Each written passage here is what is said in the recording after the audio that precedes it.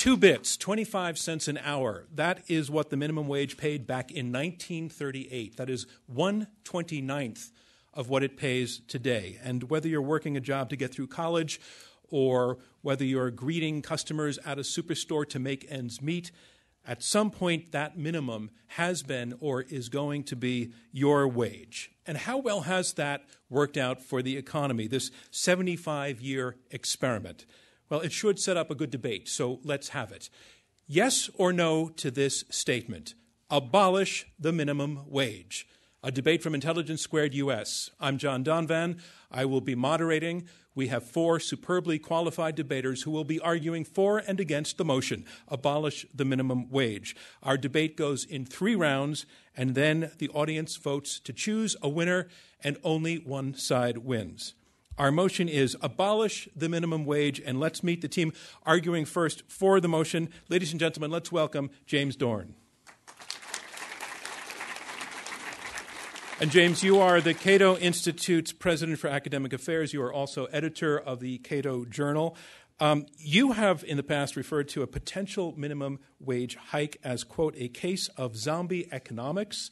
Uh, that's a phrase you borrowed from uh, Paul Krugman, who used it in an article. Uh, for audience members who are not familiar with your work, if Paul Krugman is at one end of the spectrum, where does that put you? Well, I work for the Cato Institute, so uh, it puts me at the opposite end of the spectrum. I think uh, the minimum wage is zombie economics. All right. Thank you, James Dorn. And your partner is? My partner is the great rapper Russ Roberts. Ladies and gentlemen, Russell Roberts. Russell, you are uh, also arguing for the motion abolish the minimum wage. You're a research fellow at the Hoover Institute. You're a host of the podcast Econ Talk and a former George Mason University economics professor. And the word rapper came up. In fact, you wrote and produced, co wrote and co produced a rap song on economics that sounds something like this. 1929, the big crash. We didn't bounce back, economies in the trash. Persistent unemployment, the result of sticky wages. Waiting for recovery, that's outrageous. Wow.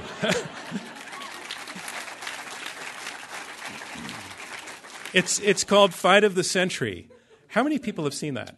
Well, we actually, with John Papola, we produced uh, two of them, two rap videos, and I want to make it clear on the record I, am not singing in either one of them.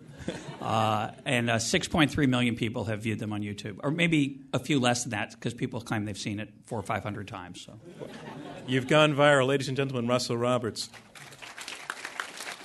Our motion is to abolish the minimum wage, and we have two debaters here to argue strenuously against it. First, let's welcome, ladies and gentlemen, Jared Bernstein. Jared, you're a senior fellow at the Center on Budget and Policy Priorities. You are former chief economist to Vice President Joe Biden. Uh, you are now known as one of the top progressive economists in Washington, D.C., but before you were an advisor to the Obama administration, you were on a different career path one that informs your work today. Tell us what it is. Well, I uh, was also a rapper. No, not really. Um, uh, I, uh, I was a social worker in New York City, and as I'll comment later throughout the discussion, that was uh, where I first learned how important the minimum wage is to low income working families. So, social work and economics very much, very important. I mean, if I had my way, uh, every economist would have to be a social worker for a couple of years before uh, before they got to be an economist. Okay, thanks very much. And your partner is? My partner is uh, my old friend and uh, wonderful policy analyst, uh, Karen Kornbluh. Ladies and gentlemen, Karen Kornbluh. Karen, you are also arguing against the motion abolish the minimum wage. Uh, you started your career as an economic analyst. You worked uh, actually with Alan Greenspan. You were also an ambassador to the Organization for Economic Cooperation and Development. Um, you got started in politics uh, working for a senator named Barack Obama. Uh, you have been described as uh, Obama's brain. Uh, a phrase that you're tired of hearing, and uh, you were the uh, chief architect of the 2008 Democratic Party platform. Um, and, and actually, I understand that you got your start in the public side of this based on something that your dad did. Yeah, so my dad was uh, involved in local uh, politics. It served in a couple of local uh, positions in uh, New York City. This was before Take Your Daughter to Work Day?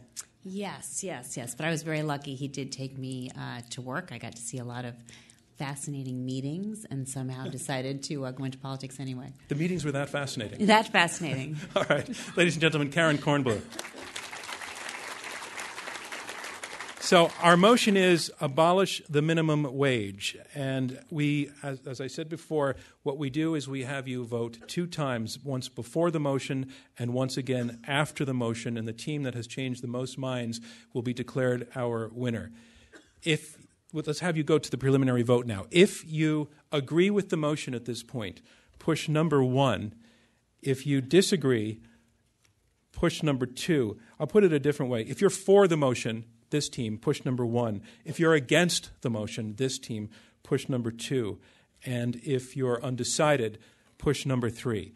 And you so, on to round one opening statements from each team, each debater in turn. Our motion is abolish the minimum wage. And here to speak first for the motion, Russell Roberts. He is a research fellow at the Hoover Institution. He is host of the award winning podcast Econ Talk. He blogs at Cafe Hayek and is a former professor of economics at George Mason University. Ladies and gentlemen, Russell Roberts.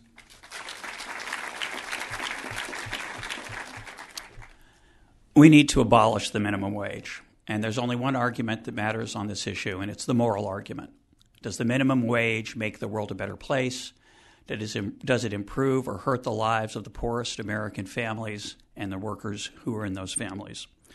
Now, those Americans with the least education and the lowest skill levels have struggled tremendously over the last three decades. They find themselves in competition with machines, computers, automation, with foreign workers, their job opportunities have shrunk. Their standard of living is mediocre at best. But the minimum wage is the wrong way to help those people. It attacks the effects of economic change rather than doing anything about the underlying causes, and by doing so, it hurts the people that we're trying to help.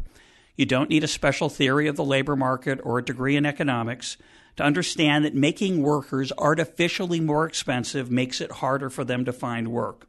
Now, those who support the minimum wage will tell you it's necessary to create a level playing field between employers and employees, that workers need the bargaining power that they're, that they're missing, and the minimum wage makes that up. But in reality, most of us don't need that extra help. 95% of workers who are paid the hourly wage, which is about 75 million Americans, 95% of those make more than the minimum wage already. And that includes my cleaning lady who I pay over two times the minimum wage. Now, why do I do that? Because I'm an incredibly nice person. Well, that's what I like to think. But I really know better because I'm an economist. The reason I pay my cleaning lady almost $20 an hour is because if I don't, she doesn't show up. She has other alternatives that she will turn to if I don't meet her market wage. It is those alternatives that protect her from the greed of employers. And alternatives force employers to treat employees well, and most of us don't need legislation to protect us in the labor force. But the minimum wage does boost the salary of about 3.5 million Americans. About half of those, 1.7 million, are young people, 16 to 24. They get help by the minimum wage, as do those who who make a little more than that, because it boosts the, the attractiveness of those workers relative to what it would otherwise be without the minimum wage. But those artificially high wages, that boost in wage, discourages employers from hiring other workers who are low skilled and have little experience. This is particularly tragic today when the unemployment rate among 16 to 24 year olds is 16%, and for African Americans, young African Americans, it's over 29%, almost one in three. Now, many who support the minimum wage will argue that somehow you can raise wages artificially and there will be no net effect on employment. But who believes that employers don't respond to incentives to higher wages and try to find ways to save costs? That's why employers replace workers with machines. That's why they send factories overseas. And that's why manufacturing employment has been falling steadily in recent decades, not just as a proportion of the total, but in absolute numbers, because fewer and fewer low skill workers who used to do those jobs are needed to produce the goods that we still make in manufacturing. And by the way, the U.S. manufacturing sector in output terms is thriving, but in employment terms, it's struggling. And those are the places that people without a college degree used to find a good job. Those opportunities are shrinking. why would artificially increasing the wages of workers, who, especially those who don't go to college and who don't finish high school, why would artificially increasing those wages make those workers better off? Why would it have no effect on their employment? Consider my favorite exemption to the minimum wage the internship. The internship is a very special kind of violation of the minimum wage. You pay zero. You're allowed to pay zero. You're allowed to pay less than the minimum wage as long as it's zero.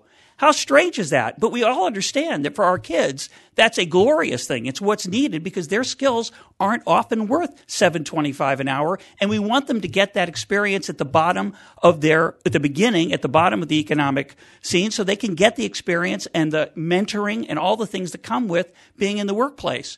And thank goodness that there is a special exemption for zero. Does anybody think that if we got rid of that, there'd be more opportunities for young people? Others justify the minimum wage by saying the effects are small, the employment effects. Small? When you lose your job or can't find one, the effect isn't small, it's 100%. So it's nice to give 1.7 million young workers a raise, but what about the 3.4 million unemployed workers 16 to 24 last month who can't find work? We're increasing the wages of 1.7 million and making it harder for 3.4 million to find work, twice as many. I don't accept that trade off. That's a tragedy. I reject it. It's a bad bargain. The irony of the minimum wage is that it reduces the bargaining power of the people at the bottom end. It reduces the number of opportunities they have while increasing the number of people who are trying to find them. The best argument for the minimum wage is that our school system is a failure. So we have to do something to help those at the bottom. But this is the wrong way to fix it. It's an additional barrier to the least skilled workers of America, of America, making it harder for them to find work. Those who have the least education, the least ability, the fewest connections, the ones who desperately need that first job to start their career.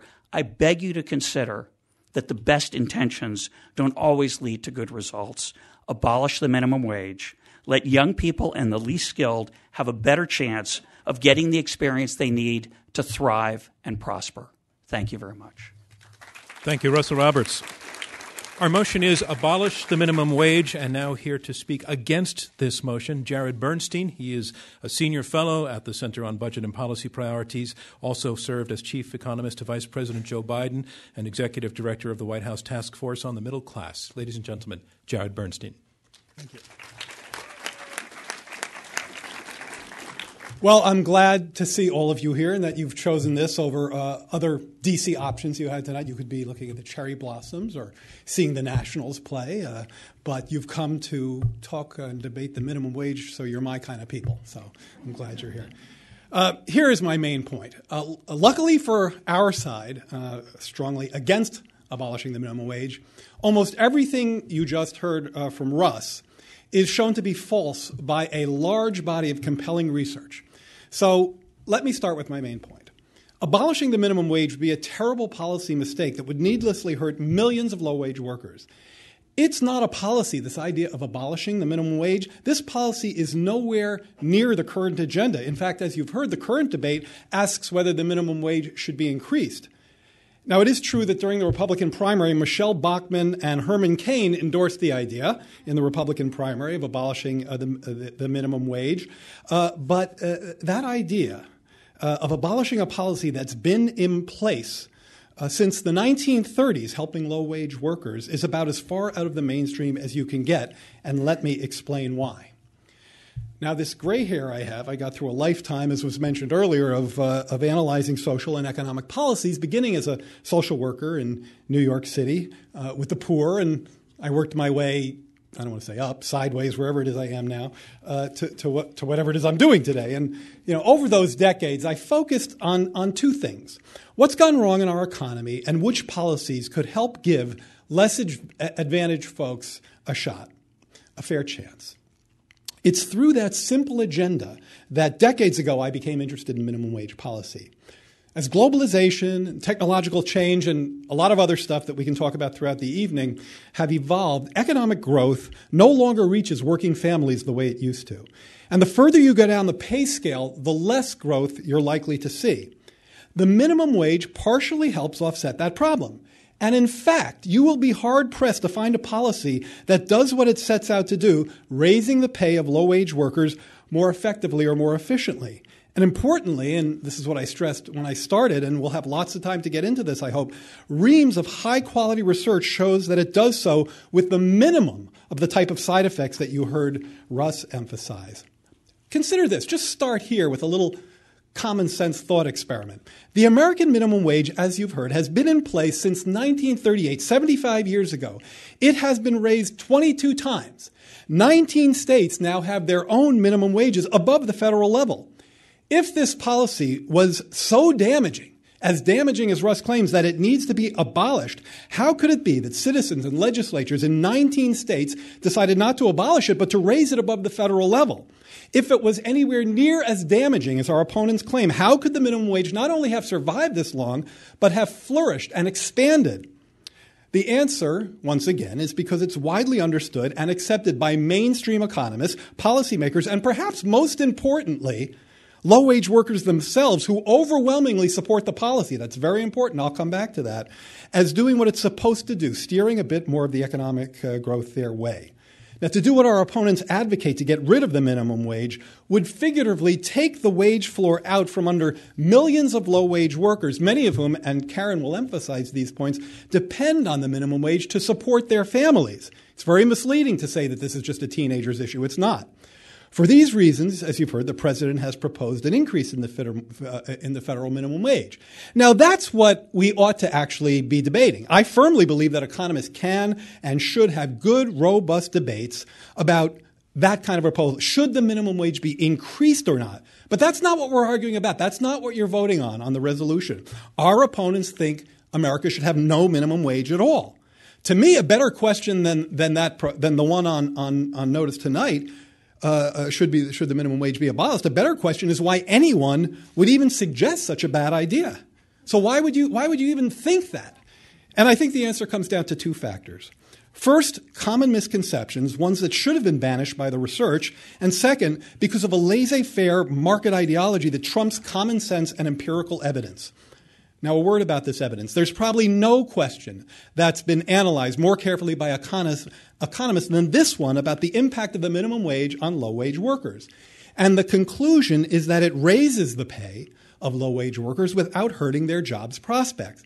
Of literally thousands of estimates on the impact of the minimum wage on job impacts of affected workers, the vast majority find that the benefits to low wage workers, the benefits to low wage workers, exactly the opposite of what, what Russell claimed, the benefits to low wage workers far outweigh any costs in terms of reduced hours or job loss. Now, recall that I mentioned all of these states with their own minimum wage levels exist. That's provided something that minimum wage researchers have found very rare in economics pseudo experimentation.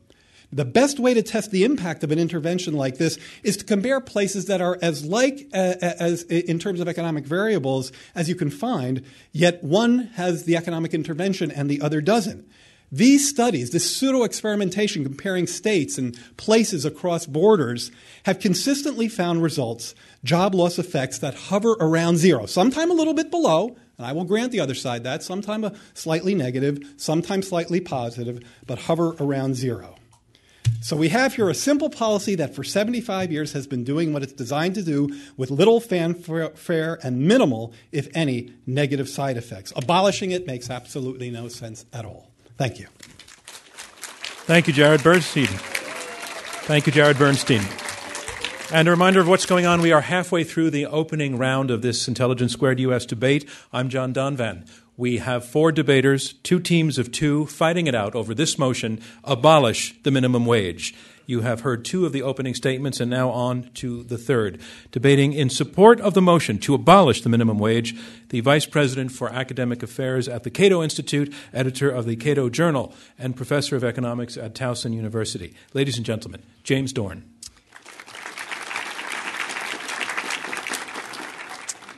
Uh, good evening. It's a pleasure to be here. Uh, I hope you will keep an open mind uh, and vote for abolishing the minimum wage.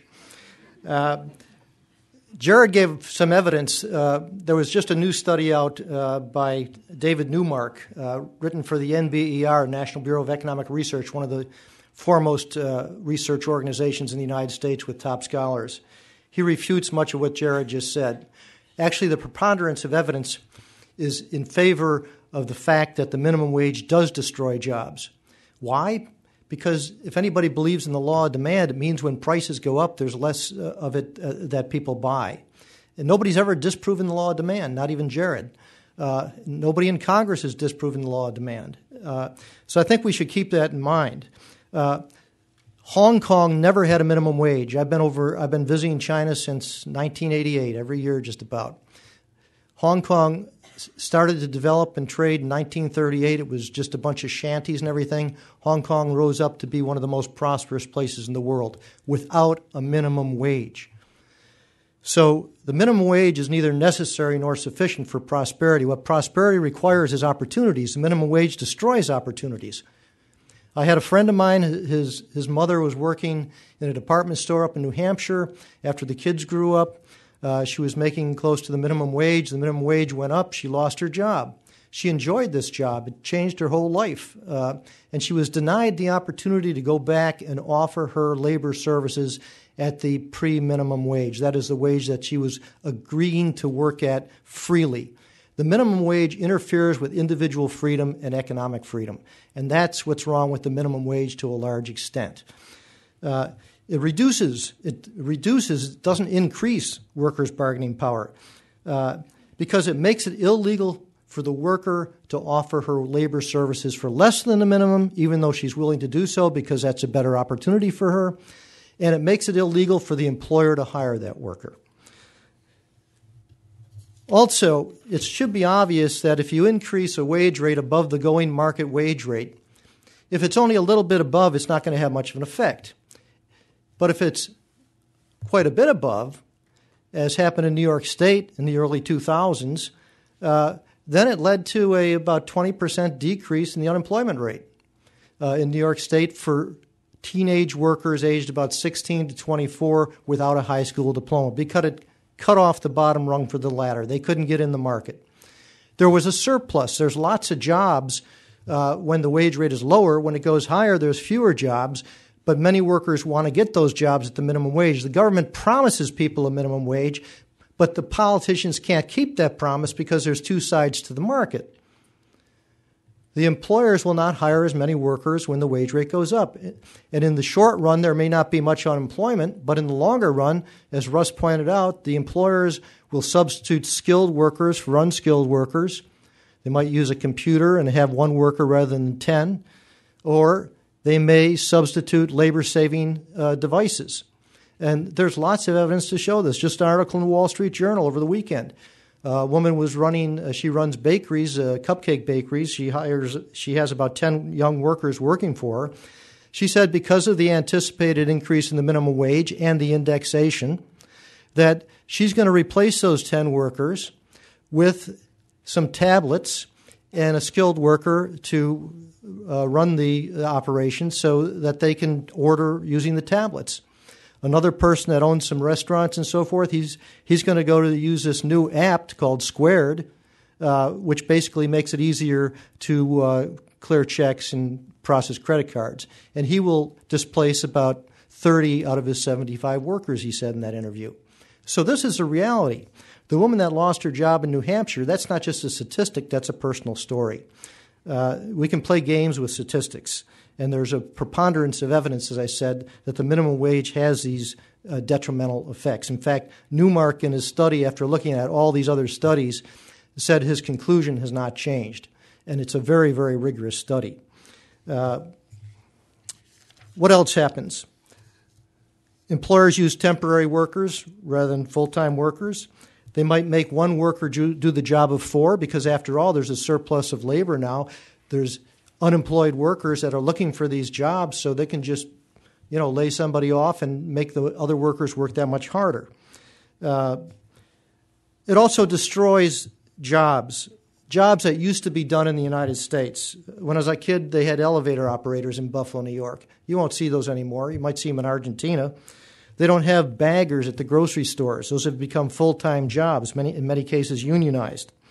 Uh, and it slows job growth. There was just a new study out by Texas A&M uh, showing that the minimum wage has slowed job growth, which we should expect. How do you explain these huge unemployment rates among uh, black male teenagers that are, you know, over 30%? In Spain, they have a very uh, rigid minimum wage. And the unemployment rate there is 26%, the national rate. The unemployment rate among uh, younger workers, unskilled workers, who are typically younger workers, uh, is double that. Uh, how do you explain that? Uh, the minimum wage also, by the way, does not reduce the poverty rate. Uh, poverty rate has actually increased a little bit because of the minimum wage. Uh, Doug Adie and other people have looked at that, Neumark as well. And if you can't get a job, because remember, the, the law, what does it do? It increases the wage rate, but if you don't get a job, your income is zero. That's what a lot of people don't understand the difference between the wage rate, which is a price, and income, which is the price of labor times the hours worked. If you can't get a job, your income's zero. So we found that the people that this affects are low skilled workers in low income families, and that's why the poverty rate is affected. James Dorn, I'm sorry, your time is up. Okay, so. Thank you very much.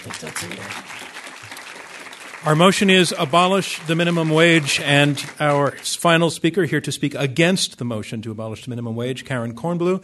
She is the former U.S. ambassador to the Organization for Economic Cooperation and Development and former policy director for then Senator Barack Obama. Ladies and gentlemen, Karen Kornbluh.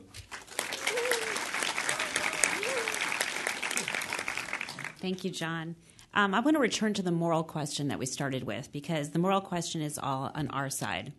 Uh, let's talk about what would happen to real people in real families if the U.S. were to go down this untested and quite radical path of eliminating the minimum wage, as our opponents urge.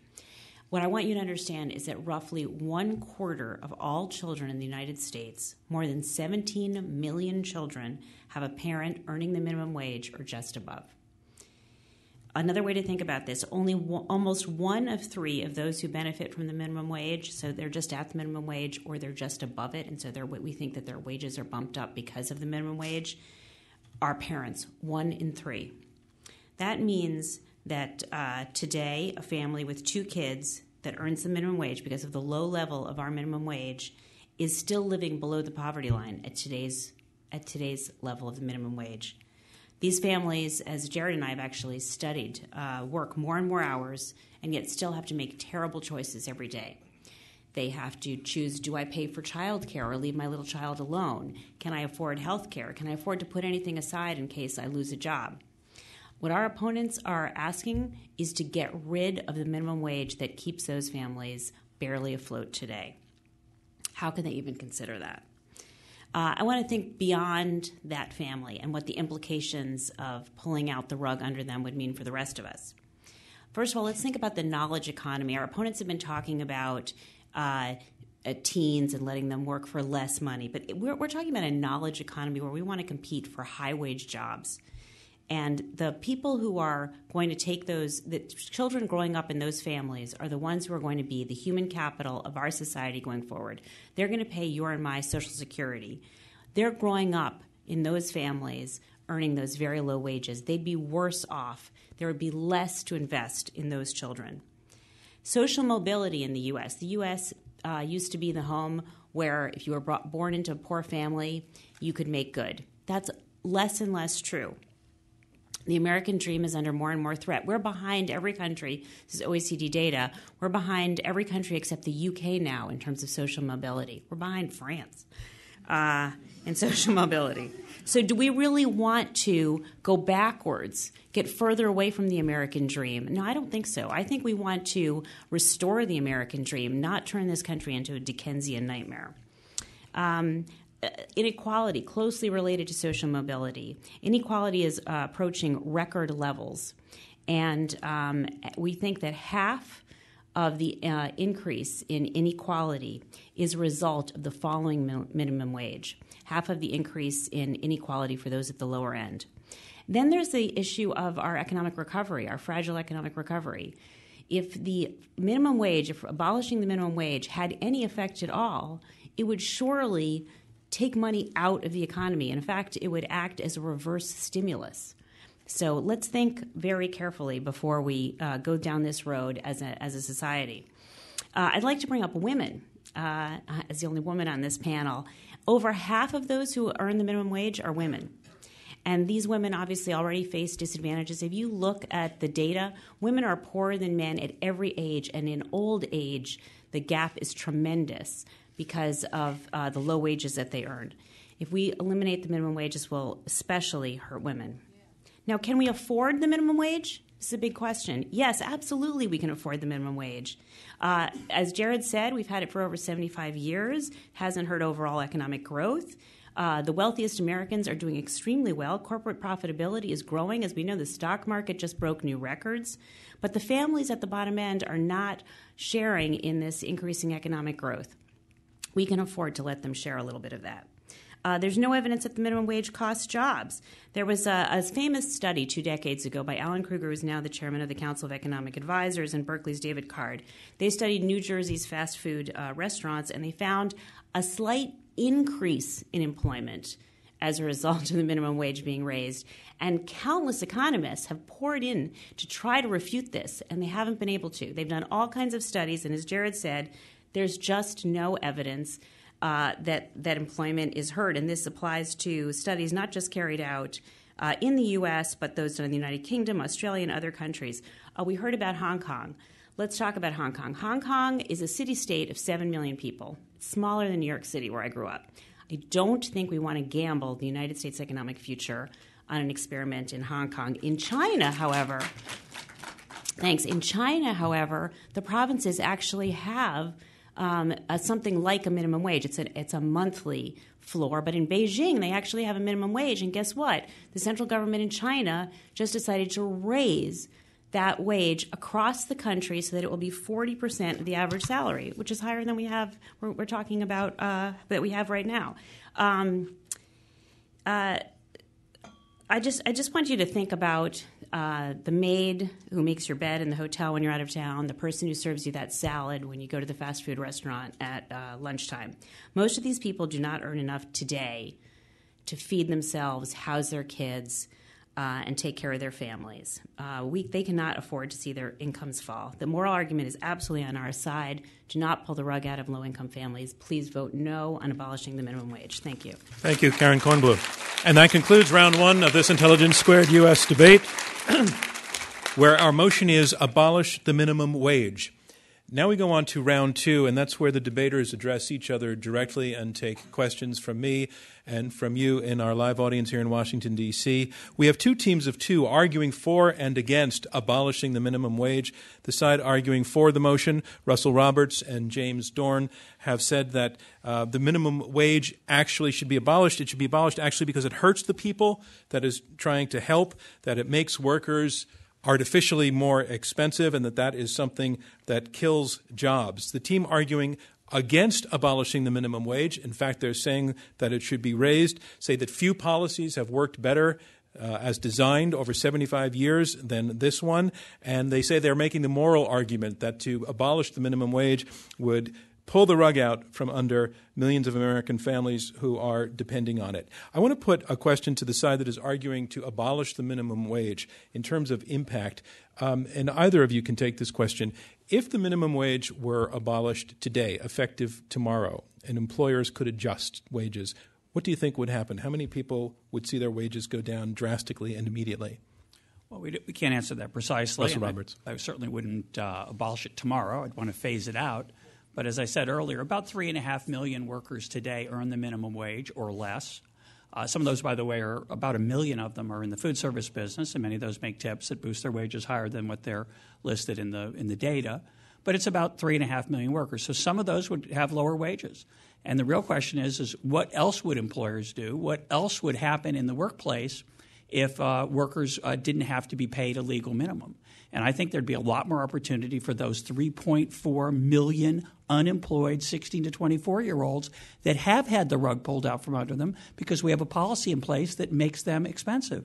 And I think that's a terrible mistake. Russell, in the in the very short term, I'm just trying to I'm trying to hone in on the point that Karen Kornbluh is making that she says it would pull the rug out from people who depend on it now. Um, is, that is that accurate? Do you think that I think you're talking about a longer term process where employers adjust, but in the short term, would a lot of people be hurt very quickly? Well, I don't know. I think some employers would take advantage of the change in the law to lower wages, and they would have lower income. The question is, what's the right way to help people who have low skills or who are struggling for all kinds of reasons, many of which are not their fault? We have a horrible school system. We ought to fix our school system instead of trying to help people through this artificial method. If the artificial method worked, I'd be, it'd be great. It'd be great. When Karen says we, we can afford it, we can afford it, this group, because we all make more than the minimum wage. And I would get some, most of the people in this room, because 95% of the American workforce does earn more than the minimum wage, and it would have very little effect on us. It's the people that we don't see, the people who have the toughest time finding work, who are punished by this good intention, well intentioned law. All right, Jared Bernstein. Yeah, I want to respond to that. First of all, and um, I, I think we, we have a disagreement about the numbers. 3.5 million hourly paid workers. That's correct. Correct. Okay, so you're leaving out at least 2 million salaried workers. Uh, salaried workers are not exempt from the minimum wage, so, so, so that number is wrong. There's, Here's- what- what's the here's- source let for me that, finish. Jared? What's the source for 2 million? Because the Uh, BLS doesn't collect that data. The, oh, absolutely. No, no, no. This is, this is from the cu- current population survey. Okay. Look, Ru- You wish Ru- you hadn't Russ, asked. Russ Robert. But they don't Ru- collect Russ, the hours Russ data, is a Russ is a friend of mine. I like Russ. but So we got the whole ad hominem thing worked out. you knew there was a but right coming. away. Okay. No, I, I like Russ a lot. Um, uh, but I am a, I, I am aghast to hear Russ say, "How many people would this hurt? Who would this hurt? How would it hurt them? I don't know." That's what he just said. I don't know. You cannot, in my mind, in good faith, in this economy, in any economy, talk about abolishing the minimum wage uh, and not know what its impact are, are going to be. Uh, that's way, way too reckless. Now, the idea that workers are hurt by this, the way uh, Russ and Jim have argued, is belied by research that looks very carefully at changes in minimum wages across different economies and different groups. Now, I don't want to get, I don't know if we want to go there now, but we need some time to explain, I think, to the audience uh, what the research actually shows. You can't just say um, black unemployment is high and we have minimum wages, therefore high minimum wages cause high black unemployment. Because we've had a period when we've raised the minimum wages, 1990s, we've raised the minimum wage, 1996, black un- unemployment came way down. So I'm not saying that it came way down because we had a higher minimum wage. I'm saying there are a lot of moving parts, and the best research compares uh, the impact of the minimum wage controlling for those moving parts, and that's what we've been citing. May I Dorn. respond to my friend? Uh, let me have to bring in, let me bring in James Dorn, and then you guys can be friends later. Yeah, two points. Uh, if there's an excess supply of labor, low skilled labor, and they can't get jobs, yeah, the minimum wage will come down, but the competition will be among the workers. The workers that have lower valued alternatives, they can't get a job at the minimum wage, they will now have an opportunity to get a job. I think that's a very important point. Their wages will not stay low forever. Most of these workers are young. They will be in, they'll get good work habits, uh, they will learn things. The employers will eventually pay them more as their productivity goes up. You don't want to put the cart before the horse. When you go to get a job, okay, the government can increase the minimum wage, give you a raise. But if your skills haven't changed or anything else, that's not going to that's not going to happen. I- I want to take I want to take the, the point that I think you're making to Karen Kornbluh, and, and, the, and your opponents are basically saying that the, they, they acknowledge that the people who are making the minimum wage would rather be making the minimum wage than less. They acknowledge, I think, uh, uh, Russell, um, acknowledge that some people would be hurt immediately in their pocketbooks, but they're also saying that lots of people are not on the minimum wage. They're not working. So the policy doesn't do anything for them. And, and that it's it, it- more than half of poor people between the ages of 16 and 64 do not work. That policy does nothing for them. And I want to have you respond to that piece of their argument. Thank you, John, because um, I, I made the moral argument, but I think it's really important to get the economic argument right. And I think the economic argument sounds like it's on their side, but it's absolutely not. It's uh, I like them both very much as well, but I think good economics says uh, that you have to make sure that you're not ju- that you're actually looking at causality and that you're taking account of all of the variables.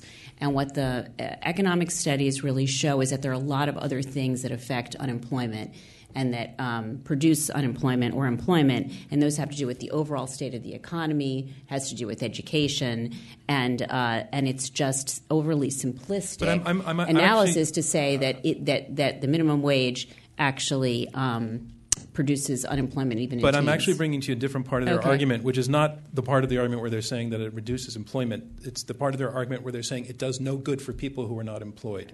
As a policy, number one, it, it, ex- it expenses businesses as opposed to the taxpayer to help this sector of society. And number two, it doesn't do anything for people who don't literally have jobs. I think what we need to focus on, though, for those people, and they've said it again and again, and I absolutely agree, and we can all go out agreeing on this, is we need to improve our education system. We need to get access to vocational education. We need to get access to um, higher education. That's what you need in the knowledge economy. And so I think we all agree on what we need to do for those people. Russell Roberts.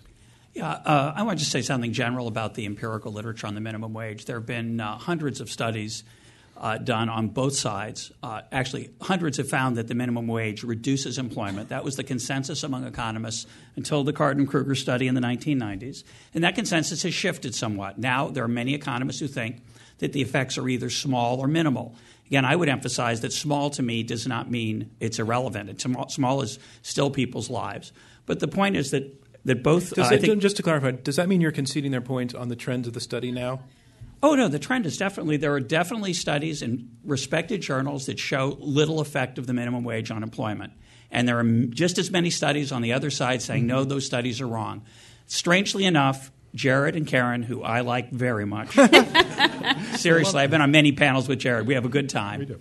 Uh, those studies haven't convinced. Those studies that show that, that there have been serious losses of jobs, which uh, Jim mentioned one of them, the Sabia Burkhauser Hansen study of New York workers, 20% drop of kids without a, of workers without a high school diploma. That's an incredible tragedy. Uh, they don't find that persuasive. The study wasn't done well. Strangely enough, we don't find the studies that find the other side persuasive as well. There's a big ideological gap between these two sides that we should be honest about. Because if the studies were great, they would win. They would convince people. But the reason they don't convince people is that the world is a complicated place, as both Karen and Jared have said. So a lot of things going on at once, and it's really hard to hold things constant. It gets a lot harder when the minimum wage affects a relatively small part of the population. So when 95%, if Jared, if you want, if I want to accept some of your salaried workers, some slightly smaller percentage of the workers earn more than the minimum wage already, yeah, it's going to be hard to tease out the independent effect of that relative to all the other things that change in the economy at the same time. So it's very hard to do. It's not persuasive to the I opponents. to? Look, Yeah, I, I, I think that's I think that's a very Jared fair. Bernstein. I think that's a very fair assessment of the literature. And you know, you you keep uh, the the other side keeps citing the work of David Neumark. I think David Neumark. He you got sort of. Um, Has everybody read the David Neumark? no, no. And the hundreds of studies. So, so you've got, you know, the, I, I thought Russ described it well. You've got the Krueger and Card and a lot of other studies that show, you know, zero or slightly positive. David Neumark and others show slightly negative. Now, I, I recently corresponded with Neumark about this because we did a study at the Center on Budget. We're doing a study, and we said, David, what, which, what, what should we plug in to accurately represent the job loss effects that you and, and our opposition believe are, are, occur because we want to be fair, uh, just like I thought Russ was pretty fair. Um, and, and he said um, essentially a, a 10% increase in the minimum wage will lead to a 1% decline in the employment of, of, of, uh, of teenage workers. Now, if that occurs, that means that 99% of affected workers get a pay raise. Now, our opponents have consistently said if 1% uh, loses a, a job or loses hours of work, yet somehow 99% get a raise, it's a bad deal.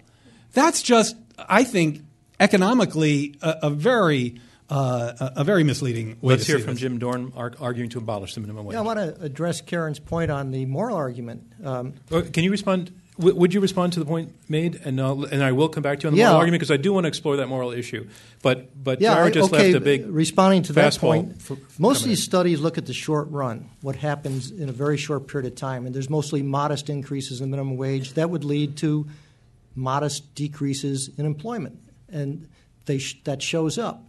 Uh, but if you look at the long run, longer period of time, where businesses uh, that are just making marginal profits uh, and they can't increase prices much, they're going to cut back on low skilled workers.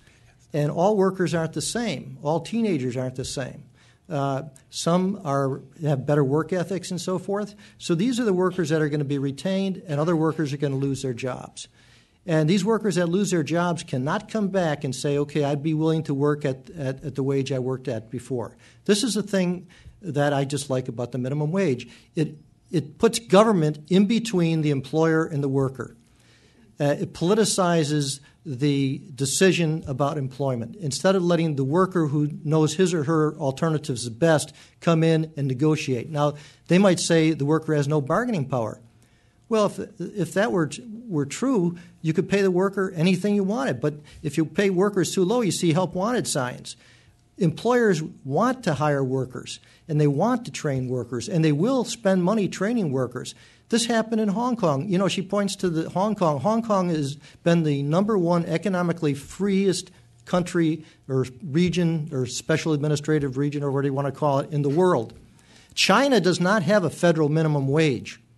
They have local minimum wages, and most of those local minimum wages, especially in the coastal areas, have been below the prevailing wage. The politicians there want to create jobs, and they know if the All wage right. rate is too high, the official one, they won't create those jobs. Jim, jobs. I wanted to, the part of your argument I want to take to the other side, which was very accessible to all of us, is the logic that he lays out that if, and to use the phrase that his partner used, if you artificially make workers more expensive, then employers are going to adjust by not hiring them. That is a coherent, logical argument. And, I, and I haven't heard you respond just Sure. to the logic of that It's, argument. it's, that's a great question. Uh, the like any other theoretical notion, and it is a theoretical notion, uh, a very um, cogent one, as you mentioned, uh, it has to be empirically tested. You can't in economics. This is not this is not science. Uh, this is social science. It's different. You have to test it, and the tests that have been applied have been, um, I think, very careful pseudo experimental kinds of tests, especially more recently, where a- a- as much as you can is held constant. And what those tests find is that you don't get the results that uh, Jim and Russ have predicted. So you have to ask yourself, what else is going on? And the, the other things that are going on are what I call the three Ps. Um, there are, are three other ways uh, that um, an increase in the minimum wage gets absorbed that have nothing to do with job losses uh, uh, prices, uh, productivity, and profits. Okay? Profits, and as Karen mentioned, um, corporate profitability is soaring at an all time high, while compensation, by the way, as a share of national income, is at a 50 year low. Um, profits are uh, redistributed somewhat uh, when minimum wages go up to low wage workers. I think that's a good thing given the trends that Karen decided. A very interesting and very positive impact is that you find that in the low wage labor market, a, a part of the economy that's fraught with turnover and vacancies, that goes down significantly. So productivity helps absorb some of the uh, increase as well. And there's some price effects too. But my, my question that I put to the other side the day after the minimum wage is abolished, what happens to the workers who are making minimum wage now? They keep their jobs, they make less money? That's what you see happening? Yeah. Okay. Russ Roberts. Well, Jared and I agree on something very important, which is economics is not a science. That's good. That's a start. Uh, it's more like history with a lot of numbers. Uh, it's nothing like physics or the sciences. So, to me, the word social in front of it isn't. Uh, it's a very important qualifier. And I think the challenge is the empirical evidence that Jared's talking about. I view is very unpersuasive. And it's, I know it's unpersuasive because it doesn't persuade the opponents. No one reads these studies that are full of equations and Greek letters and lots of fancy statistical work and go, oh my gosh. But can they I'm- be persuaded? I've been wrong all my life. But- but I don't Russell, know. would- it doesn't would they be pre- happen. Yeah. It, I, in theory, it could, but I, everybody always says, "Oh, they left this out. They didn't do this right." They always have a reason, and that's because of the fundamental complexity of of human society. So I want to ask, instead of that. Those kind of studies, which I don't think persuade even economists, and they shouldn't persuade you, I want to ask you to do the following experiment. If you decided to quit your job, you didn't like your job, you were bored, you wanted to try something else, and now you're going to go out in the workplace and find a new job. But the government passes a law that for you to be, when you go to your new job, your new employer has to pay you, say, let's pick a small, relatively small number, 20% more than your current job. That's the law. So you switch jobs, you've got to get 20% more. Do you think that would be good for you or bad for you? Do you realize, and my question is to my opponents, do you think that would make it harder for you to find work? They're arguing that, oh, empirically, it's, a, it's an empirical question. Empirically, it doesn't have any effect when you artificially raise people's wages. So you, you have no extra skills, nothing new. You come into the workforce, yay, the government's passed a law. You have to be paid 20% more than in your last job. Would you be happy? Would you be excited about that? I think you'd be scared. I would be. All I right, think wanna it's go a very few more- difficult. I want to go a few more rounds. I want to go to Karen Kornbluh to respond to that, and then I do want to get to that moral question that Jim Dorn wants to bring up. Karen Kornbluh. But before I respond to that, I just want to um, uh, lay out another thought experiment, which is that if you were really serious, if you really thought that teenagers uh, couldn't work at the minimum wage and that it was keeping them out of the workforce, then what you might look at, and, and some countries that have very, very high minimum wages have looked at this, is a separate minimum wage for teens. We have a separate minimum wage for tip workers. I'm not saying those are something that I would that's something that I would endorse, but if you're really serious about a separate population needing uh, to get entry, that's what you would do. I mean, we're very lucky; we have an easier case to make because the the proposition on the floor is abolishing the minimum wage. You do not have to go to abolishing the minimum wage to address the um, uh, arguments that our opponents have brought up, even if you take them at face value. Jim Dorn. Yeah, I Jim want, to, I want to come back to this moral argument because I think it's an important point. And the question is whether individuals should, should be free to choose on their own terms, as long as there's not fraud involved and violence, uh, to make themselves better off as they see it, or whether the government should mandate a wage rate which may put you out of a job if the government says the employer has to pay you $9 an hour and you're only producing $5 an hour you're going to lose your job. Now, why is the worker getting $5 an hour? Because he or she doesn't have very many good alternatives. They don't have much education. So, the real way you want to increase their income. You increase the wage rate, they lose their job, their income is zero. How do you increase their real income over time? They have to have a better education, they have to have work habits. They don't get any work experience if they can't find a job, and people do lose their jobs. There's lots of evidence on this.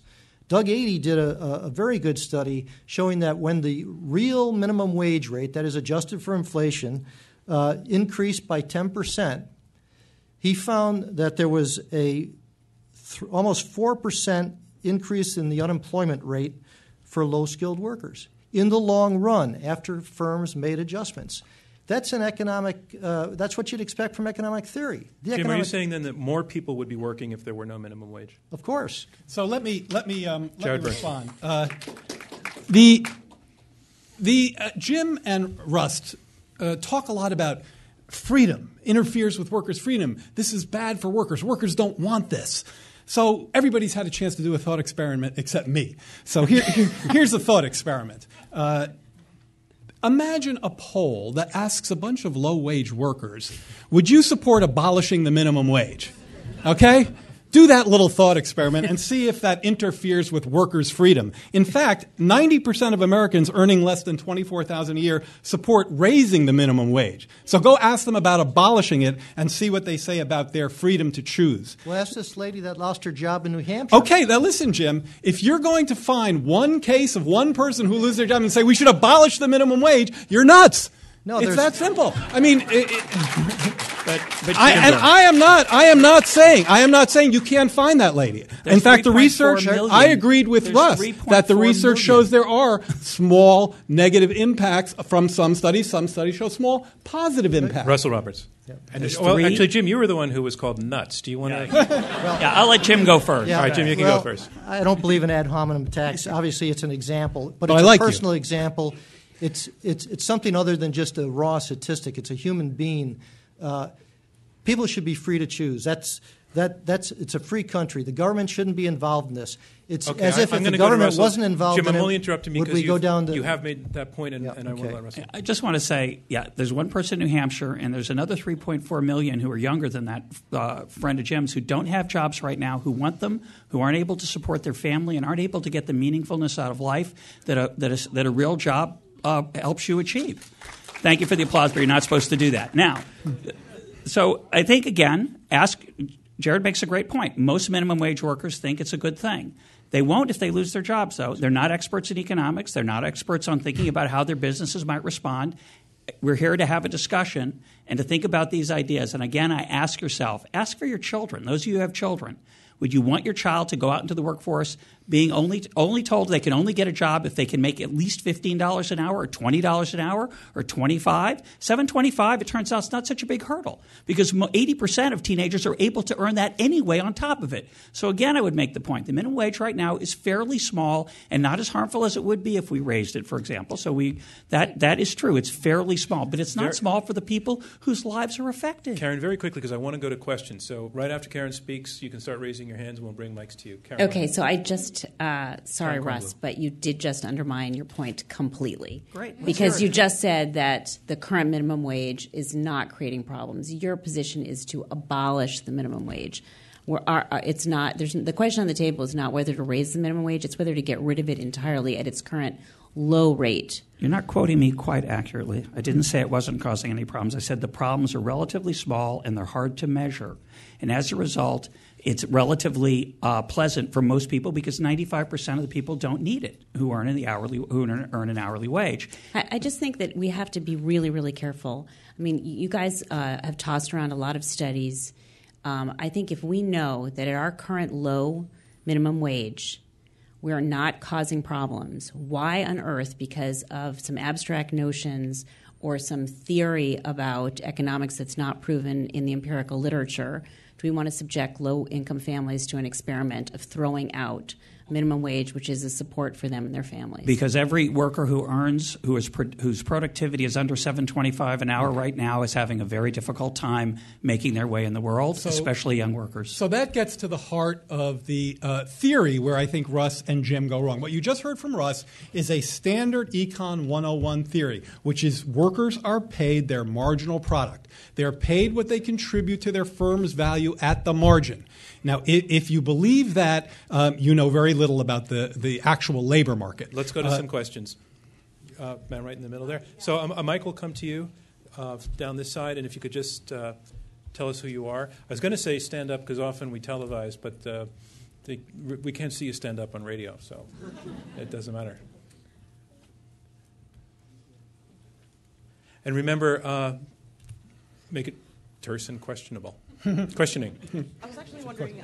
Uh, Wrong word. Um, my name is Emmy. Um, I was wondering if you, if both sides could speak to what role ballooning tuition costs, particularly for college and university, play in this debate. Do we abolish the minimum wage when you consider that you have a workforce that has an increasing amount of debt as they enter initially into the workforce, assuming they take on college or university education? Okay. Does that change your argument at all? That issue? Sorry.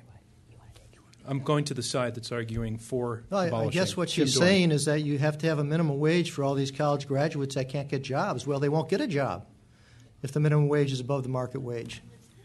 I would have a slightly different perspective on this. Russell I think Robert. part of the problem we have with education right now is that we've subsidized it, which is a lovely idea. And as a result, it's pushed up tuition. It's allowed colleges to raise their their prices, their tuition, a great deal. And as a result, many students have borrowed a lot of money and as a result, they're in big trouble. Okay. And especially in a downtime of economic growth when economic growth is so mediocre. Okay. Uh, I just it's getting a little bit off the minimum wage issue. Fair enough, yeah. but that's why I stopped you. Uh, Karen Kornbluh. Yeah, I, I, do think this is really tied to the minimum wage issue because we have to remember that we live in a knowledge economy, and a country's human capital is what it competes on.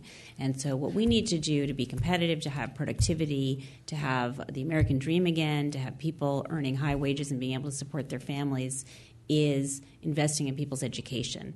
And so we have a big problem in this country in terms of K 12, and we have a big problem in terms of okay, university same, costs. That's reason, what we should adjust, gonna, uh, and not the minimum wage. All right, I'm going to step in. But your opponents made the very same argument at the beginning. And I was surprised when you said that you have the moral argument on their side because they were, they were not saying damn the poor in any way. They were saying that they feel that the, the, the tool, the minimum wage, doesn't function correctly. I, and I've and I've been wanting to get to that moral argument, but I was hoping somebody in the audience would actually bring it up. Oh no! So what I was saying is that I think the moral argument is on our side because those families need the minimum wage to to uh, support their kids. What they were saying is that somehow the minimum wage hurts those families and keeps them out of the workplace. I think the way you deal with people who are out of the workplace is you get education and training. Okay, but they're they're saying the same thing. They're saying they care about the same people, but they're saying that the minimum wage hurts them. I'm saying the minimum wage helps them. Okay um, right again in the center. I know that's a pain with the microphone. I'll go to the wings after this, but for you in. Uh, so the mic's coming to you. Just wait for it so that the radio broadcast can hear you. Uh, oh, I'm sorry, you don't know who I'm talking about, do you? Obviously, it's a dark room, right? If you can stand up, because I'm making eye contact, then the microphone will find you. There it is. Great. Hi, I'm a business owner in Can Washington. you, can you bring the mic up? Thanks. Hi, I'm a business owner in Washington D.C. where the minimum wage is 8.25 an hour, and I love the idea of worker freedom. When I think of one of my workers living in Washington D.C. on roughly $16,000 a year, if they didn't take much in vacation, they'd have the freedom to choose, say, between rent or food, or you know maybe health care. So my question goes to. Um, the notion of a living wage. If we don't pay our workers a living wage, then what we're asking is for the rest of the population to subsidize our businesses to bring those people up to a level where they can survive. And I'd just like the via the taxpayer, you mean? Yeah. Okay, decide arguing to abolish. The living wage isn't by the taxpayer. I, th- I, think it's usually a proposal to just have a higher minimum wage that would be able to support a family more easily. W- what kind of business do you have? I'll repeat it for the, those who, since you don't have the mic. I have a consulting business. You have a consulting business, and your workers are paid. You said you have some that are paid eight twenty-five an hour. No, I said that's the minimum wage in Washington D.C. So none of your workers earn the minimum wage. No. no. there are some who do though, and that's very hard on them, and that's no doubt about it. Uh, right now, there's a proposal with the City Council of Washington to uh, increase the, the minimum wage for special stores that have large footprints. Uh, this would be stores like uh, Costco and Home Depot and uh, Super Walmart. Uh, there are very few of those in Washington, D.C., but they want to raise it to 11 something an hour. The Washington Post came out the other day and said that's a horrible idea because Costco will leave. They won't be able to make a living, unfortunately. They have a lot of profit, but at 11.25, it's not clear they'll be able to keep that store in, in Washington. And the Washington Post thinks that's a bad idea. I do too. I think it's a bad idea, to, especially to pick out special stores. What? I, I, ma'am, I need you to not debate with the debaters, but the question. Sorry. That's okay. No. Afterwards, I'm the, happy the to talk things, some I want Jared Bernstein to debate with the debaters. Jared Bernstein. Thank you. Um, if uh, I, first of all, again, these are empirical questions. If I if I if I communicate uh, nothing to you tonight, uh, that, that that would be the thing that I'd, I'd want I'd want to leave you with. You, you can't make the assumptions that our opposition does uh, uh about what happens with living wages or minimum wage, and, and this has been studied uh, again. Uh, fairly carefully, not as much as minimum wages, but living wages have not been found to have the distortionary effects that that Russ suggested. I do think the questioner gets into a very important point that we haven't touched on yet. If you abolish the minimum wage, and it falls a lot, because, by the way, if it doesn't fall a lot, then it can't possibly have the problems that they're suggesting. That was the point Karen made. But if you abolish the minimum wage and it falls a lot, you will collect fewer payroll taxes.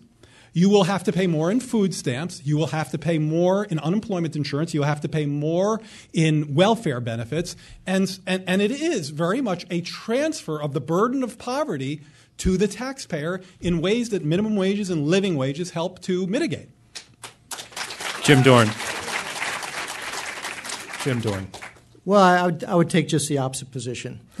Uh, the American dream for most of our grandparents and maybe some of our parents and so forth was to come to the United States from countries that had repression and so forth. There were no minimum wages. They could get a job. They learned how to speak English. Uh, they got on the job training, and their families were made better off over time. Immigrants coming over here now, if they're low skilled, they're not going to have that opportunity. And teenage workers without a high school degree that might be going to work and getting a job, these people aren't going to get jobs. The Card Krueger study did not did not look at people that actually lost their jobs from smaller establishments. It was they did a survey on franchise restaurants. And they didn't take into account the people that actually lost their jobs. Now, these marginal firms don't make a lot of profits. They're making a normal return on investment over the longer period of time. And if they have to pay a higher wage rate, they're going to either fire some workers or they're going to have less to reinvest in the firm to expand it. Other workers who, sure, some workers gain, they keep their job, but other workers will lose their job and either go in the shadow economy or eventually end up on welfare, maybe. So I want more opportunities for workers.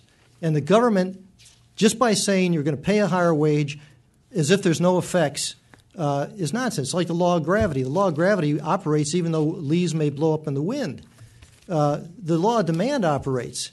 And when prices go up, people buy less, especially in the long run when they make substitutions. Just common sense. Let me, You uh, let me interrupt you to go to the question down here.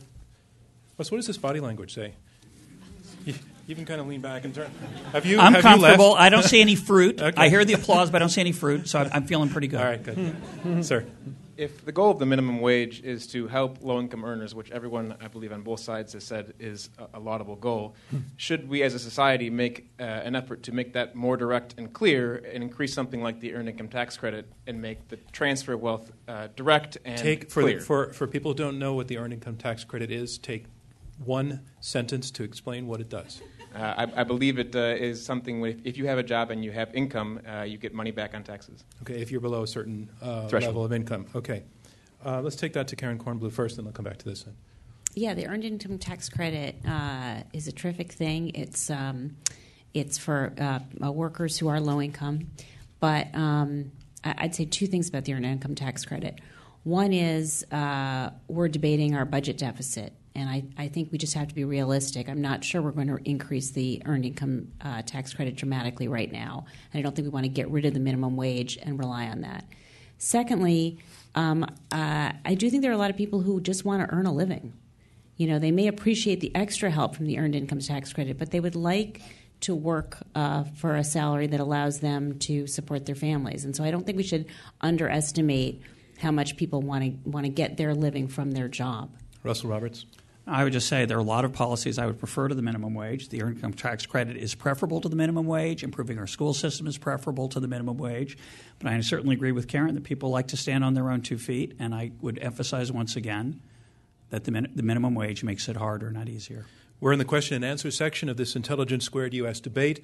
I'm John Donvan. We have four debaters, two teams of two, arguing out this motion abolish the minimum wage. Right down front here. The mic is coming up uh, from behind you. Um, it, my name is Daniel Stone. It seems like the pro side is arguing that with no w- minimum wage, it's better for the entire economic system. But I wonder, without a minimum wage, where you have an environment where people can make 50 cents, a dollar, a dollar 50 an hour, if that could lead to other economic problems like poverty, which could lead to uh, increased crime. Do you, do you not feel that they've actually answered that question? Um, I, no, seriously, I, I, I, I don't want to take time uh, on it. If I, to me, it's the crux of their whole argument answers your question. But if you would like to take it, either side. Th- Take They're it saying it would. I mean, oh, go ahead. No, no, I, I, I think Oh, let's put to this side. I think actually, most uh, establishments already pay more than the minimum wage. And, and if, the, if the wage rate dropped for some workers, the lowest of the skilled wor- uh, lower, lower skilled workers, yeah, their wage rate may go down in the short run, but they'll have a job. And their wage rate's not going to stay at, at a low level forever if they work hard. That's the point. Uh, you're pricing these, the politicians are pricing these people out of the market in the name of doing good. It's a feel good policy.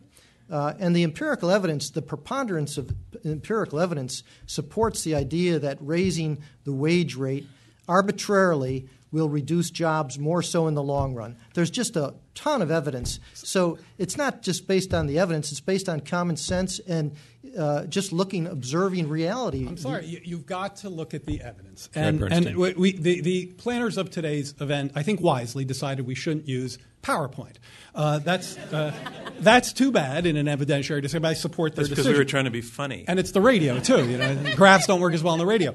But what I have here in front of me is a graph that I'll show to anybody afterwards, and uh, uh, that, that, that just, just frankly contradicts this notion that particularly Jim, but Jim and Russ have hit on all night. Common sense, common sense. Co- no.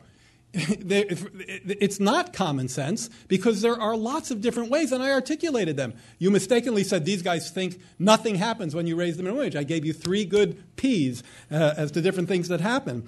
Uh, so uh, the dynamics of the economy are such uh, that the questioner is exactly right. Um, you would not find uh, a, a great deal uh, of uh, increased employment because the minimum wage is not currently a disemploying mechanism within the economy. But what you would find is a ton more poverty. And, and you have to consider this in the context of the EITC, Mr. Questioner, over there. Because if you take a minimum wage that's $7 an hour and you apply a 40% EITC to it, you're adding You $2.80. just again, again, again, Please don't use the term EITC. Oh, the Earned Income Tax Credit, a wage subsidy for low wage workers.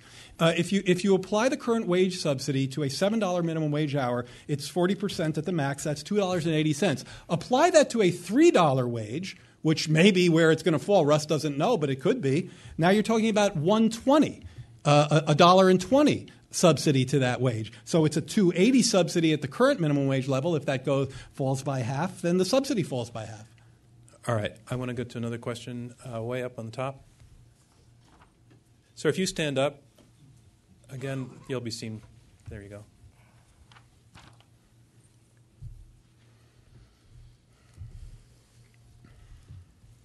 So, um, if I know we're on radio, but if you could imagine a graph that shows the distribution of what wages would be without a minimum wage, my guess would be that seven or eight dollar minimum wage is close to the low end, and that most people would, would make more than that in the absence of a minimum wage. So if that's the case, then changes to the minimum wage are going to not have much effect because most people are above that. So the thought experiment would be if the minimum wage were, say, 50 cents an hour and we were talking about abolishing it, I, I guess we would probably agree that that would have no effect because Can- no one would I- be I- I making need- that I need you to zero in on a So the question. question really is: is that is do, do, do both sides believe, believe that's the case, so that we're at a level where it's kind of irrelevant whether it's there or, or not, and that if it were much higher, if it were twenty dollars an hour, twenty five dollars an hour, where most people were making more, would we actually be at a point where that where it's relevant and abolishing it or not would make a difference? So is your question this? Are we at a level at the current minimum wage of $7.25 an hour that is so low that abolishing the minimum wage would not actually affect Well, what I'm not most people saying are that it would have no effect, but it has minimal Little. effect, right? Yeah. Because it's close to where the, the minimum would, would be, and so that may have Oh, no all right, let me effect. go to Russell. Well, uh, do you want to go first, just, Karen just a real quick thing. We think that the that the minimum wage also affects those who earn just above the minimum wage. That it props up wages just just above. So if you look at the people who earn at the minimum wage or just above, as I said at the beginning, we have one quarter of all children in the U.S., more than 17 million kids, who have a parent who earns at the minimum wage or just above, who we think would be affected. Well, I, I agree. It does Russ prop up Roberts. the minimum wage, for, and it has a bigger effect on the people who just earn it. And that's part of the reason why Walmart, which pays more than the minimum wage, favors the minimum wage because it makes their competitors more expensive. It raises the cost to other firms that are smaller and won't, can't afford to pay as much as Walmart does. So I agree with the questioner, though. The level is relatively small, which means it's hard to measure, and the harm is relatively small. But as I started off by saying, for the people who can't find work, it's not small. For the people who aren't worth it, it's very tragic. One more question. Far right. Uh, sir. Hi, my name is Charlie Edelman. Risking oversimplification, That's our mission here. it seems to me that the side arguing for the motion is arguing in favor of workers' individual freedom, and the side arguing against is arguing for government protection. What elements of the minimum wage debate isolate it from arguments against uh, hours working on the job versus overtime, uh, healthcare benefits? You know, what elements of this debate make it unique compared to other labor versus business arguments? That's a really good question. That's really good. In other words, are we just having the same old argument over and over again? Is this just libertarian versus um, uh, progressive government argument, or is there something else going on in terms of the minimum wage? Is that what you're saying? Exactly. All right. It's a really interesting question, actually. Um, who would like to take that on first? Uh, James Dorn. Well, with the minimum wage, there are only so many jobs to go around, so old lump of labor fallacy, since the wage rate's not allowed to go down if there's a surplus. Uh, so you're stuck, and the employers have a lot more power then to dictate certain things to workers. They would have more flexibility and more freedom for both the employers and the workers if you got rid of the minimum wage. And I think if you got rid of it, the wage rate wouldn't change that much because we're pretty close to the where where the market clearing wage rate would be. That's that's why politicians don't have large increases in the minimum wage. They can get the political brownie points of feel good policy where most people think that the minimum wage is a good thing. Uh, that's why they don't increase it by a lot. When they have increased it by a lot, for example, in New York State, the study that was done I pointed to earlier, it led to a fairly significant decrease in employment. It is also the empirical evidence. It's just not common sense. There's a lot of empirical evidence on our side of the argument. So I, I think uh, Jared is uh, unfair to mention that. He doesn't mention anything about this most recent NBER study, which is much more sophisticated than the John Smith study that they like to cite. Jared Bernstein, the guy you called nuts, just said you're unfair. Yeah. Um, so you're even now. Attack. You're even um, now. Look, Jared Bernstein. Uh, I find the other side's argument on this point just horribly muddled. Um, I'm echoing something Karen said earlier. I just don't get, and I'm not trying to be cute here, I really don't get the logic that says, sort of relates to the last, que- last question. It's really a small deal. It doesn't really affect many people. But damn it, it should be abolished. Uh, because it's a big problem and it causes all this unemployment. And you've heard them all night talk about the, the damaging um, unemployment effects of the minimum wage. Yet somehow it's at the same time this de minimis policy.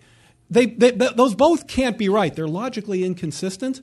And I think the re- getting to the uh, a question, uh, and it was a good question, to me, it's Congress's way of saying we're not going to let the market drive wages down on our lowest wage workers to privation level wages. We don't want to be Hong Kong. We don't want to be Mexico. We don't want to slide down the you know, in economics terms, we don't want to slide down the demand curve the way our, our opponents would like us to. Now, the reason to think that's a bad idea is if it has the negative job loss effects, if it actually distorts the economy in ways that our opponents worry about and claim. Let me let the Russell research Roberts, says it does not. Russell Roberts. So, um, horribly muddled. That's in between, I guess, nuts and unfair. Um, it's not too bad. Uh, there's a subtlety here, and, and it's a nice rhetorical flourish here. But I think the argument is is that when we say it's relatively small, we're not saying it's unimportant. We're saying it's difficult to measure. It's difficult to tease out the independent effects when many things are happening at the same time. So as a result, when some states are doing well, they raise the minimum wage, and therefore it's hard to figure out what the independent effect is of what's going on underneath. But my question for you is, since you reject the logic that we made. You say it's only an empirical question. I'd like to know why you think employers over the last 30 years have relentlessly punished, not through their deliberately, but through their actions, have relentlessly punished low skilled workers because they are relatively unattractive compared to workers outside the United States and automation. Do you really think that work that employers don't respond to economic incentives? Employers have not consistently Jared punished. Bernstein. Oh, sorry. Did you want? No, I'm just doing this for the radio, so Sorry, they know yeah. who's talking. Sorry. Thank you. Jared Um, Bernstein. Jared Bernstein. I need to say it when they're not laughing and when you're I'm not going to hear that in my head now for the next week. I'm when going I to say it one more time. Say anything. Jared, Bernstein. Um, did he say that, or did I just? Um, employers have not uh, relentlessly punished low wage workers. In fact, in the 1990s, a period when the minimum wage was increased in 1996, the unemployment rate among low wage workers fell to the lowest it had been in 30 years. The national unemployment rate fell below 4%. That was the time of welfare reform. And, and, and hundreds of thousands of low wage, poorly educated single moms came off welfare, got into the labor market, and with the complementary boost of the minimum wage and a higher EITC, poverty rates fell very steeply. So, you know, I think you're fundamentally wrong. I'll tell you why employers fight against the minimum wage because it cuts into their profits. And that concludes round two of this Intelligence Squared U.S. debate, where our motion is abolish the minimum wage. And here's where we are. We are about to hear brief closing statements from each debater in turn. They will be two minutes each. This is their last chance to try to change your minds. Remember, you voted before the debate. You will be asked to vote again after closing statements, and the team whose numbers have changed the most in percentage terms will be declared the winner. On to round three, closing statements from each debater in turn. Our motion is abolish the minimum wage. And here to summarize his position against the motion, Jared Bernstein, a senior fellow at the Center. Uh, Jared, you can do this one sitting down. It's okay. Uh, let, let me finish my introduction of you. Jared, Jared Bernstein. let me finish the introduction. Jared Bernstein, a senior fellow at the Center on Budget and Policy Priorities. For my closing statement, I'd like to get away from the dueling studies and statistics, which I'm sorry we have assailed you with, and I apologize to my friends on the other side if I got a, a, a little rambunctious. It's, I, I clearly I feel this passionately. Um, but I'd like to get away from that, and I'd like to bring a bunch of, of other people up here on the stage with me, uh, so to speak. Uh, the almost 90% of Americans earning less than 24,000 a year who support raising the minimum wage. Okay? I don't hear an argument from the other side as to why they're wrong. and to why they would uh, uh, support. Uh, in the interest of their freedom, abolishing a minimum wage that 90% of them support. 80% of Americans between 18 and 30 support raising the minimum wage. 10 to 1 among unemployed workers support raising the minimum wage 10 to 1. Now, earlier Russ said something about nobody's mind being changed. That's actually not true. It's true that a lot of people's minds don't get changed. But uh, in fact, this research that we've been talking about, particularly these experimental designs where you can really make pretty fine, granular comparisons, have changed some minds.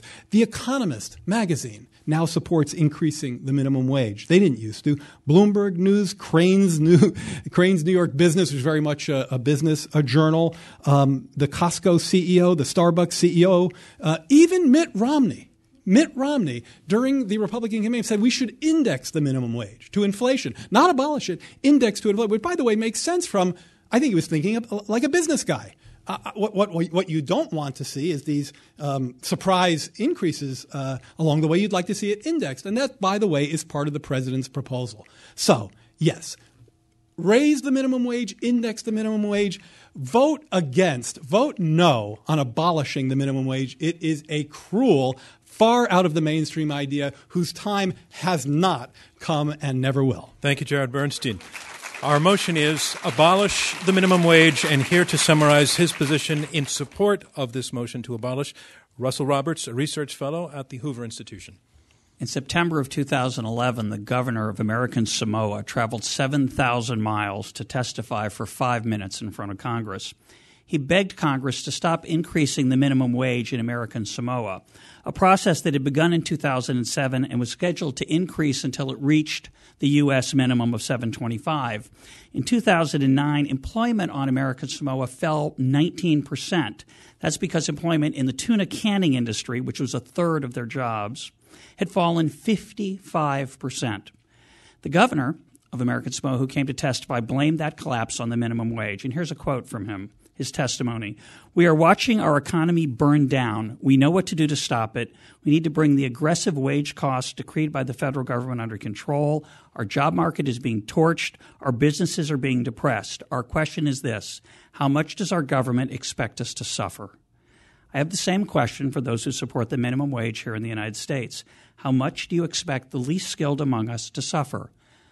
Congress should, did stop increasing the minimum wage in American Samoa, thank goodness. They should have the same compassion for workers here in the United States and abolish the minimum wage here. Right now, there are people within a few blocks of where we're sitting who cannot find work simply because their skills are not worth 7.25 an hour. Why would you condemn those men and women to a wage of zero? Why would you cut off the bottom of the economic ladder and deprive a human being of the chance to begin a life of honest work? There are desperate people among us, people who have nowhere to turn, whose job prospects are poor. Why make their lives worse? It's not just about the money, it's about giving people a chance to find meaning and satisfaction from standing on their own two feet. Give the least skilled among us the chance they deserve. Abolish the minimum wage. Thank you, Russell Roberts. Our motion is abolish the minimum wage, and here to speak against the motion to abolish, Karen Kornbluh. She is the former U.S. ambassador for the Organization for American. Uh, sorry, she is the former U.S. ambassador to the Organization for Economic Cooperation and Development. Uh, thanks so much, John. Thanks for moderating this. Um, I want to say a few things. One, abolishing the minimum wage would hurt real people and real kids. Uh, a third of those uh, who would be hurt are parents. Uh, one tenth are single parents. Uh, more women than men would be hurt. 55% of those who benefit from the minimum wage are female. Uh, the average minimum wage worker contributes fully half of her or his household's uh, entire income. Minimum wage laws do not seem to affect employment very much. Studies suggest that other factors, such as the overall state of the economy, how local industries are doing, matter a lot more for employment than the level of the minimum wage does. Several states have minimum wages above the federal minimum. There are no signs that the higher rates lead to higher uh, unemployment.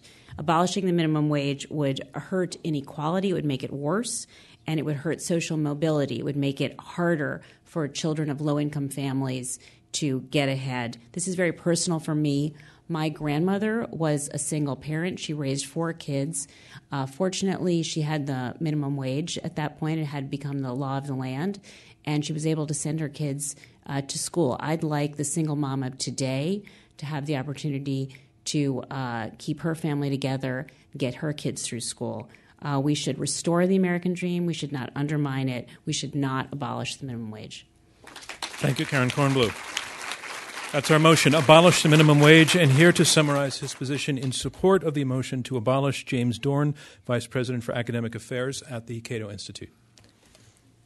Markets don't lead to privation, markets lead to prosperity. Historical evidence shows this. A Mexican immigrant came over the United States not too long ago. Uh, he couldn't get a job because he was illegal, probably, uh, but he did get a job eventually in San Francisco at below minimum wage from a Chinese in a Chinese laundry. He worked there for a couple years. Then he went to Georgia. He worked in a slaughterhouse at a, low, a little bit higher wage rate, and now he owns a chain of Mexican restaurants in Georgia. He had a dynamic and a dream to come here to find an opportunity. If he would have obeyed the law and the employer obeyed the law, he would have never had that opportunity. A friend of mine was making 72 cents an hour when he first started work. That was his first job.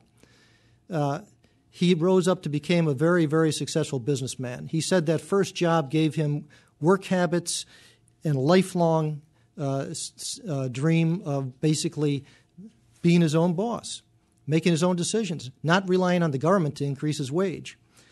The minimum wage decreases opportunities for low skilled workers in low income families. We need to abolish the minimum wage, not increase it. There's a better way to help the poor than the minimum wage. Thank you. And that concludes our closing statements and round three of this debate. And now it's time to learn which side you feel argued the best. We're going to ask you again to go to the keypads at your seat to register your vote. We're going to get the readout on this almost instantaneously, reminding you. If you're for this side, you push number one. If you are for abolishing the minimum wage, you push number one. All right. We have asked you to vote twice on this motion, abolish the minimum wage. You have heard the arguments, you have voted twice. The team that has changed the most of your minds in terms of percentage points moved will be declared our winner. Here are the results of the preliminary vote. Before the debate on abolish the minimum wage, 21% were for the motion, for abolishing the minimum wage. 58% were against, 21% were undecided. Those are the first results. Now, the second, the second results. We're going to go first to the team that is arguing for the motion. Their second vote is 26%. That went from 21% to 26%. They picked up five percentage points. That's the number to beat. The team against the motion, their first vote was 58%. The second vote was 67%. They went up seven percentage points. That's enough to make them the winner. The team arguing to abolish the minimum, the team arguing against the motion to abolish the minimum wage has been declared our winner. Thank you for me, John Donvan, and Intelligence Squared US. We'll see you next time.